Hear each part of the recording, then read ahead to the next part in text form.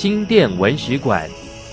新店文史馆位在马公公园内，原为新店文献史料馆所规划，举办新店文史展、柳公圳开拓史料展等当地文史资料的展馆。一百二十平的展示空间里，陈列自清代、日据时期、民国初期至今的当地开拓历史。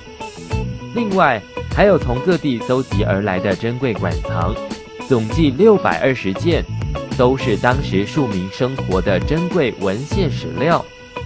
游览新店文史馆，犹如走进台湾的开拓史。这里完整的介绍了地区开拓的过程，而且将所有庶民生活的史料整齐展现，仿佛进到时光回廊一般，让人忍不住忆起过往。